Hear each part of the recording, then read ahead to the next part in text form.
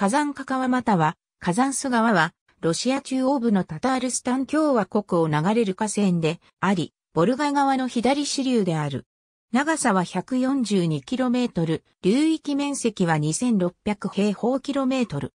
火山カ川は、タタールスタン北西部のアルスク周辺に発し、南西へ流れ、タタールスタンの首都火山の市街地の北でボルガ川に合流している。合流点付近のボルガ川は巨大なダム湖、サマーラ湖の一部となっており、火山化川の下流もサマーラ湖の一部になっている。火山化川の長メレフカメネフ、1875年、火山化川流域の主な町にはアルスク及び火山がある。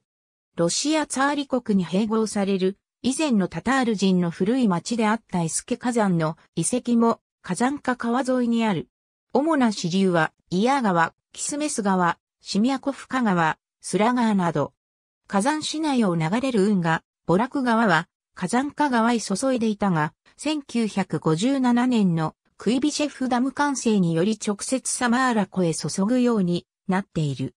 ダムによって形成された火山化川の川口付近の広い部分を埋め立てて、新しいビジネス街を作る計画が2008年に発表されている。火山化川は火山市街をクレムジのある南の旧市街とソ連時代に形成された北の新市街に分けている。市内には6つの橋がかかっているが、そのうち一番新しいものは2005年に完成した長さ831メートルのシャバリ橋である。この橋は火山立て市千年を記念してミレニアム橋と名付けられている。ありがとうございます。